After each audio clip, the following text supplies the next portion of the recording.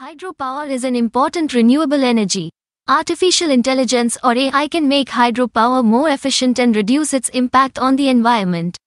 This video looks at real examples of how AI helps hydropower. Main points AI can accurately predict how much power hydro plants will produce. This helps energy companies make good decisions. AI helps plan new hydro plants in smart ways.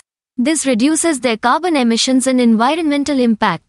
AI can spot any issues in hydropower plants early. This allows fixes before serious problems happen. One utility using AI saw a 3% increase in their total energy produced. More energy companies worldwide are now using AI to improve their hydro plants. AI helps efficiency, maintenance and reducing environmental impacts. How AI helps predicts water flow and power generation needs. This optimizes the turbines, spots maintenance issues early so they can be fixed, minimizes the environmental impacts of hydro plant operations. Benefits AI can boost hydropower efficiency by up to 10%. This saves money and reduces carbon emissions. Conclusion AI has huge potential for hydro and all renewable energy.